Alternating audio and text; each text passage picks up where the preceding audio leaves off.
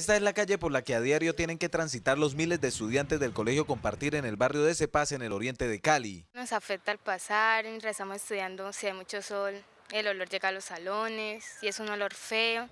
El problema fue generado luego de que un programa de resocialización recogiera las basuras del sector y las depositara en el lugar. Pese a la insistencia de los líderes del barrio, tuvieron que soportar los desechos por más de dos meses. ¿Qué hicieron estos jóvenes? Nos recogieron esta basura y nos la dejaron aquí amontonada. La empresa de aseo EMAS, encargada del sector, aseguró que tiene por lo menos 54 puntos críticos como este y se comprometió a recoger estas basuras, lo cual cumplió en las últimas horas. A veces, digamos, eh, el tema cultural o, o el arrojo de escombro clandestino es el que nos afecta estas, estos, estos puntos.